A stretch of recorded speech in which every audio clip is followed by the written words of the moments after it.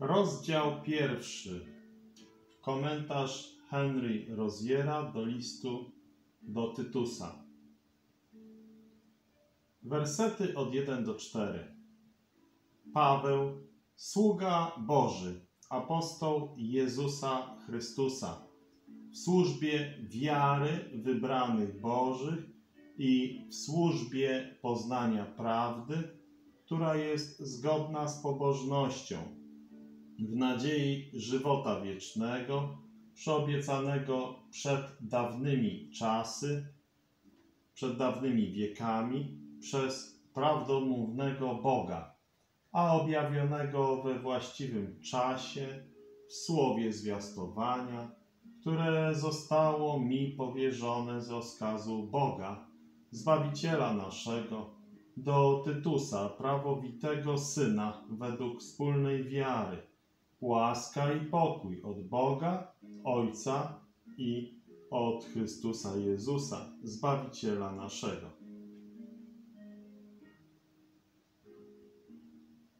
Właściwe, bardziej dokładne tłumaczenie za Biblią Gdańską Paweł, sługa Boży i apostoł Jezusa Chrystusa, według wiary wybranych Bożych i znajomości prawdy, która jest według pobożności.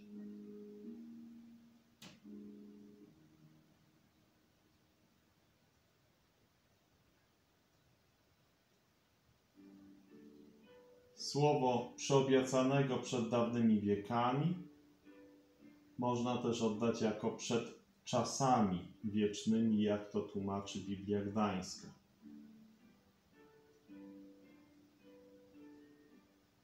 Słowie zwiastowania nie chodzi tu tylko o to, że Bóg objawił coś w słowie.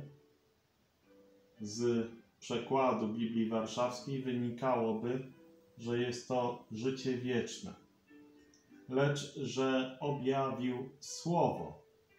Z uspółcześnionej Biblii Gdańskiej werset ten brzmi i we właściwym czasie objawił swoje Słowo przez głoszenie, które zostało mi powierzone.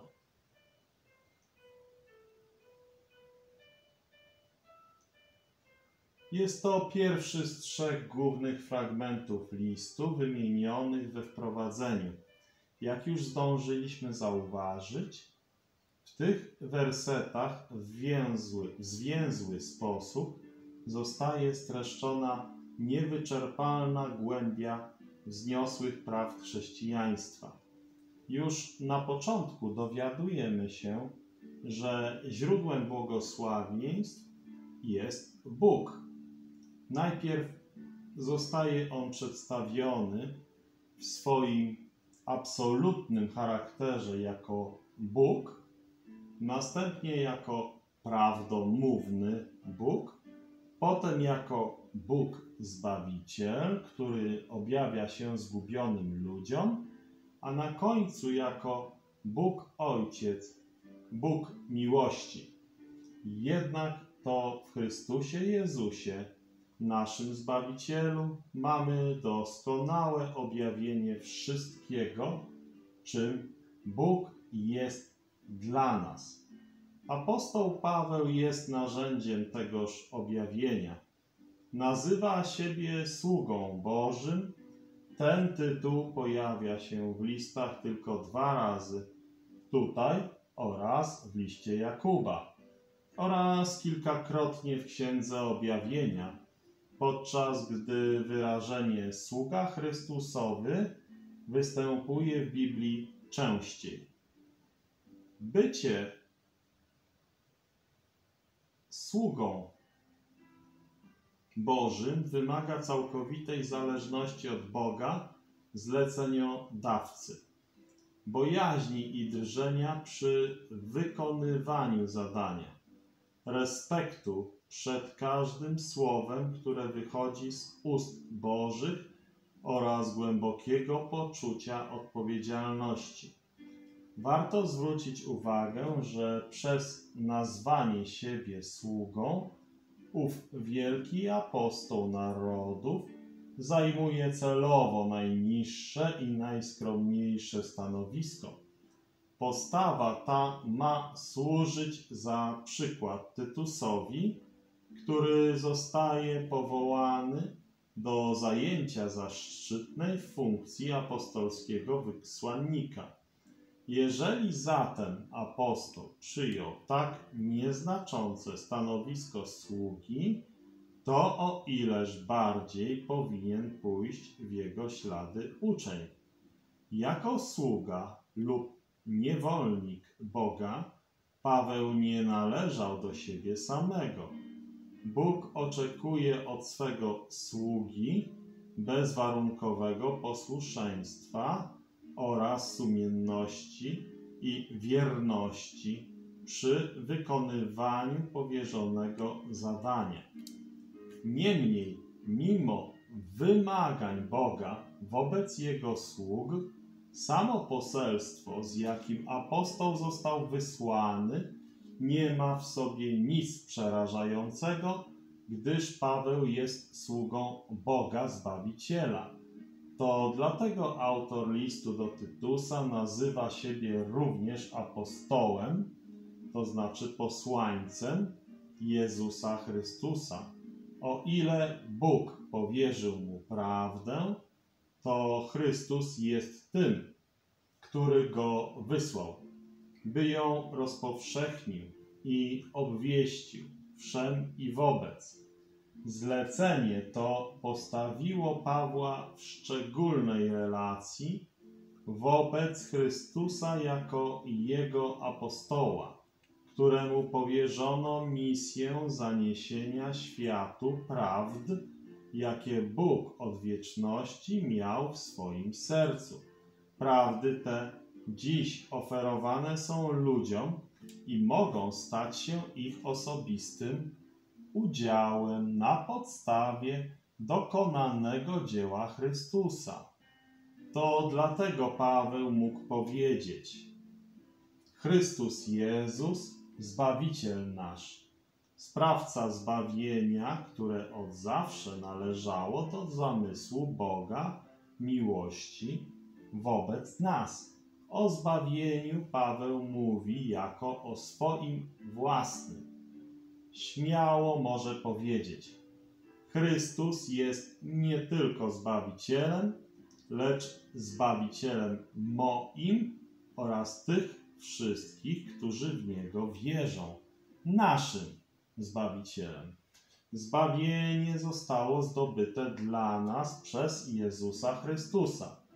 On sam stał się niewolnikiem Bożym, aby nas pozyskać. Czytamy o tym w drugiej Mojżeszowej, 21 rozdział od drugiego do szóstego wersetu.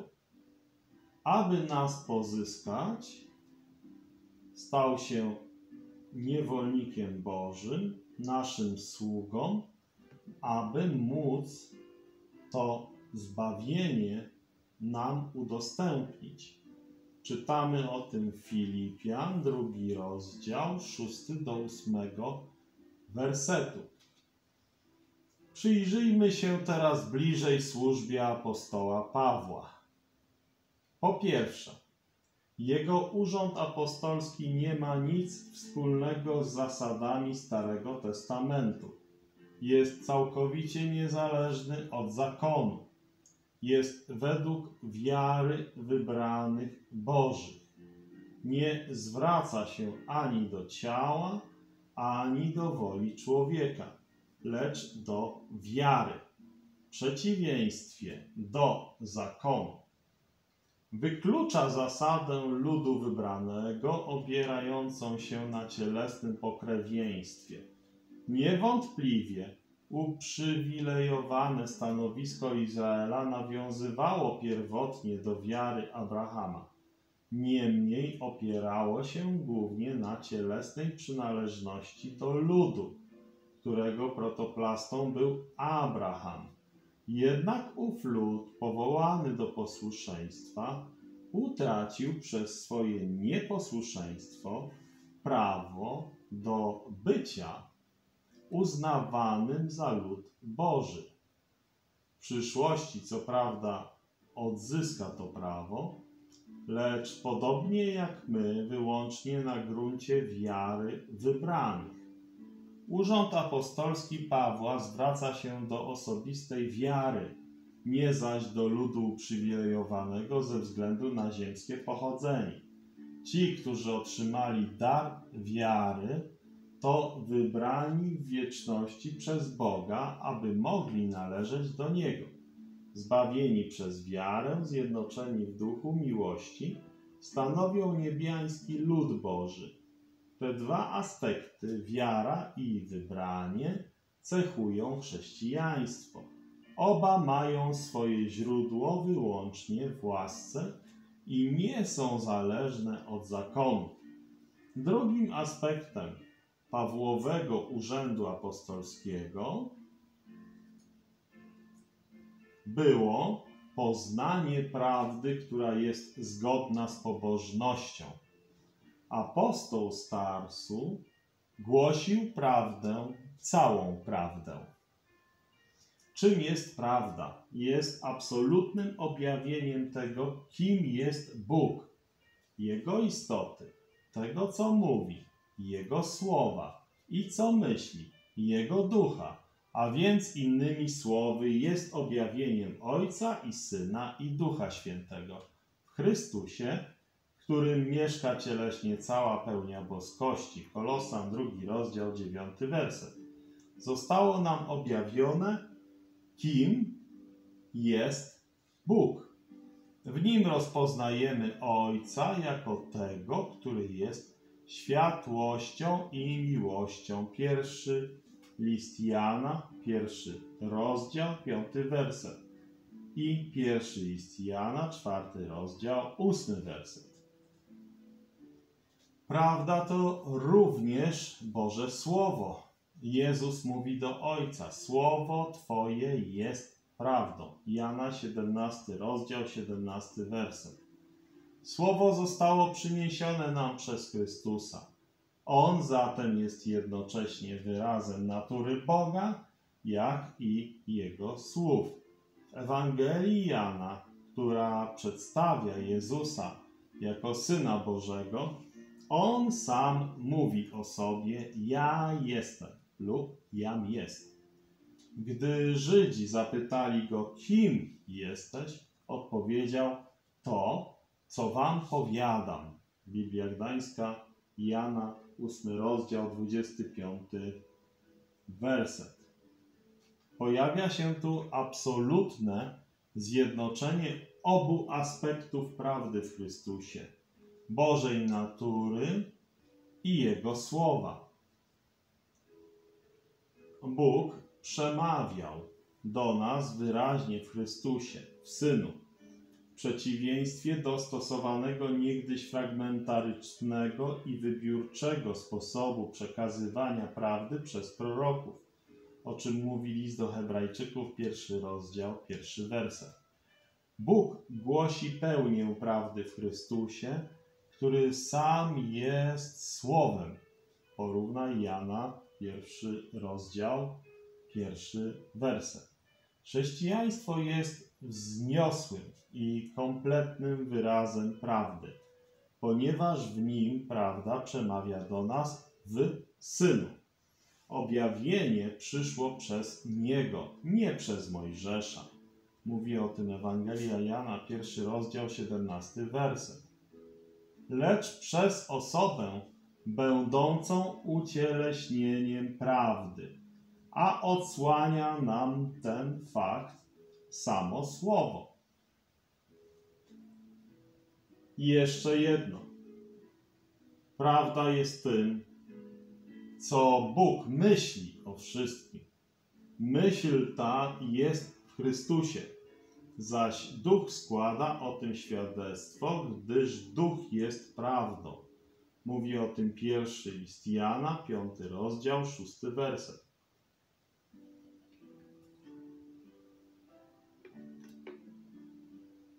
On świadczy, że w Chrystusie jest życie wieczne, które zostało nam udostępnione przez Jego ofiarę dla nas. Zatem prawda znajduje się w Chrystusie. Zatem prawda znajduje w Chrystusie swój doskonały wyraz, gdyż On sam jest prawdą. Ewangelia Jana, 14 rozdział, 6 werset. W Starym Testamencie Bóg nie objawiał pełni swoich myśli, nie dał się poznać jako Bóg miłości. Objawienie istoty Jahweh było co najwyżej powiązane z obwieszczeniem Jego miłosierdzia. Druga Mojżeszowa, 34 rozdział, 6 werset. Pod władzą zakonu Bóg nie objawił także, że człowiek jest zgubiony, gdyż sam zakon zakładał możliwość uzyskania życia poprzez posłuszeństwo wobec przykazań Bożych. W księgach Starego Testamentu Jahwe nie odsłonił także swoich myśli o świecie – gdyż wówczas świat nie był jeszcze ostatecznie zdefiniowany i osądzony jako znajdujący się pod panowaniem szatana. Zakon nie składał również świadectwa o myślach Boga odnośnie nieba, ponieważ człowiek był grzesznikiem, niebo było przed nim zamknięte, a prawo mogło obiecać mu jedynie ziemskie błogosławieństwo. Również sam Bóg nie był w pełni objawiony w prawie. Pozostawał poza zasłoną, pod osłoną gęstego mroku, jak czytamy w pierwszej królewskiej, ósmy rozdział, dwunasty werset. Pod panowaniem zakonu niewyjaśniona została także kwestia ofiary, która byłaby w stanie usunąć grzechy i pojednać raz na zawsze grzesznika z Bogiem. Krótko mówiąc, poznanie prawdy było w Starym Testamencie niepełne, częściowe, pełnię prawdy przyniosło dopiero chrześcijaństwo. Zauważmy jeszcze, że poznanie prawdy jest zgodne z pobożnością, czyli utrzymaniem ścisłej wewnętrznej relacji między duszą a Bogiem. Tajemnica pobożności, jak czytamy w pierwszym Tymoteusza, trzeci rozdział, szesnasty werset, to stan, w którym dusza może radować się relacją z Bogiem i trwać w niej.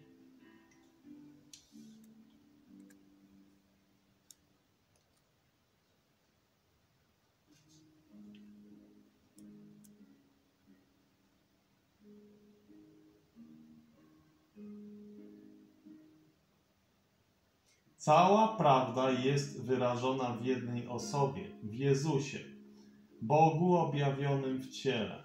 Jedynie On pozwolił nam poznać Boga i nawiązać relację z Nim. Dlatego też wielka tajemnica pobożności zawiera się w poznaniu Chrystusa.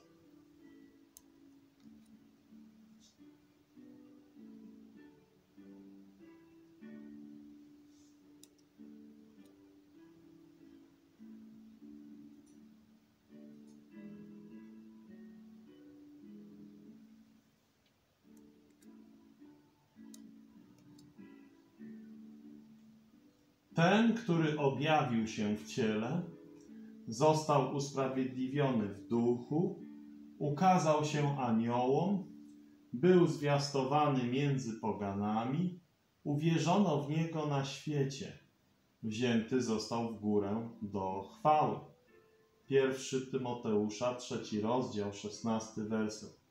Jeżeli poznanie prawdy nie doprowadzi człowieka do pobożności, to przyczyni się do jego zatracenia.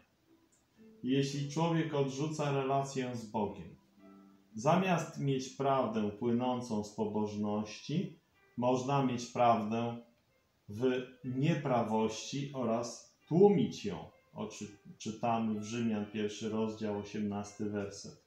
I być przedmiotem gniewu Bożego, a nie Jego przychylności. Po trzecie, powierzone Pawłowi apostolstwo miało za fundament nadzieję życia wiecznego. Nadzieja ta jest pewnością, a nie czymś bliżej nieokreślonym. Różni się od niepewnej ludzkiej nadziei. Życie wieczne zostało obiecane przez samego Boga, a czyż On mógłby kłamać? Czyż nie powiedział, wspomnijcie na sprawy dawne, odwieczne, że ja jestem Bogiem i nie ma innego. Jestem Bogiem i nie ma żadnego, nie ma takiego jak ja. Ja od początku zwiastowałem to, co będzie i z dawna to, co jeszcze się nie stało. Ja wypowiadam swój zamysł i spełnia się on. Dokonuję wszystkiego, czego chcę. Izajasza, 46 rozdział, 9 do 10 wersetu.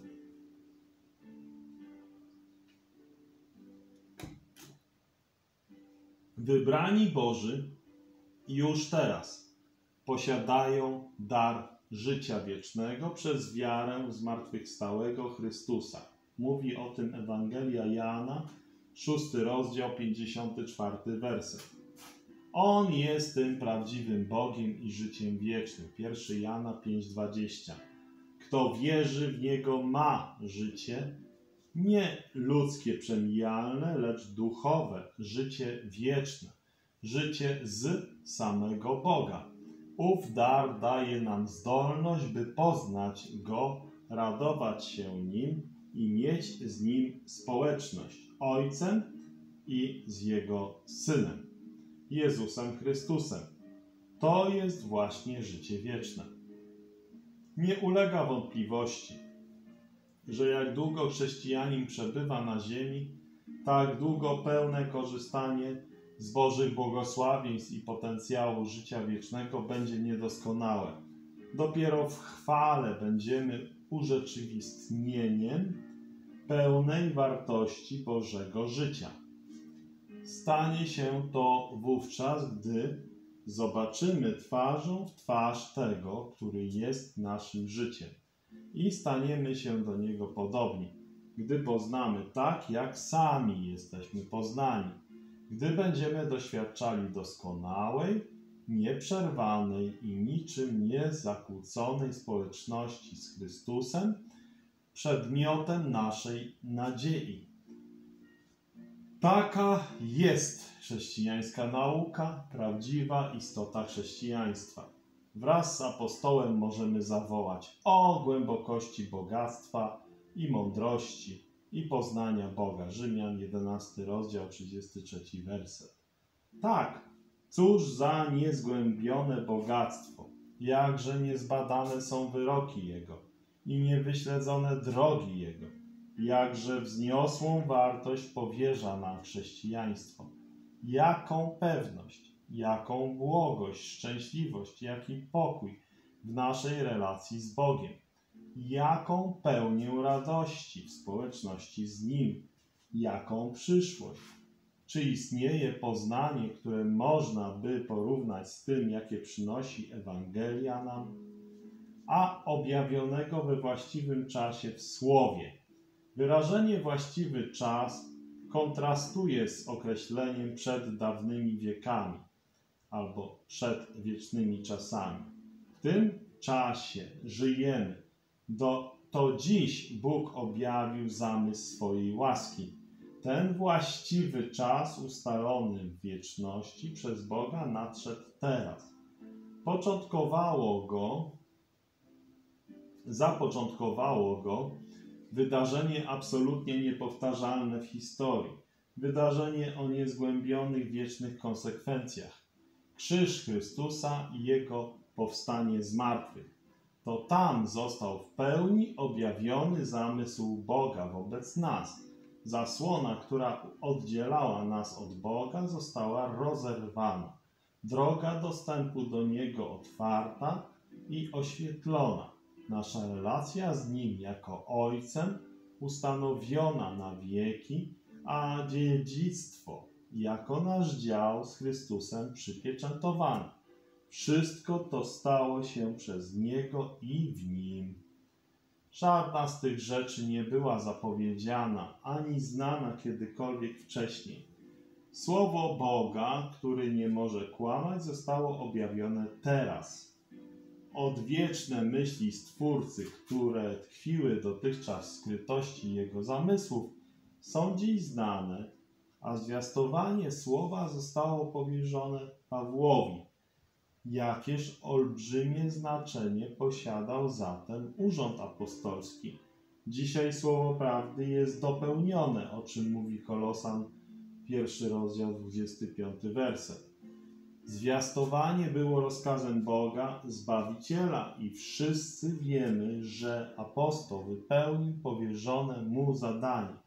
Niemniej jednak Boży nakaz w niczym nie przypominał zakonu.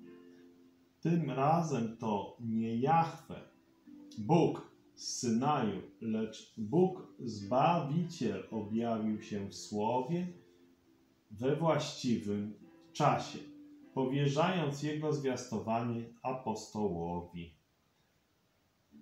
Paweł adresuje swój list do Tytusa, który był duchowym synem apostoła. Został zrodzony na gruncie prawdy i wiary. Wiara ta była wspólnym działem Pawła i Tytusa, Żyda i Poganina. To właśnie Paweł przekazał swojemu uczniowi prawdę. To dzięki jego służbie Tytus uwierzył. Bóg Ojciec i Syn i Chrystus Jezus, nasz Zbawiciel, Boża miłość i Boża łaska jednoczą się, aby przekazać Tytusowi radosną nowinę o przychylności i pokoju jako błogosławieństwach ofiarowanych przez Zbawiciela.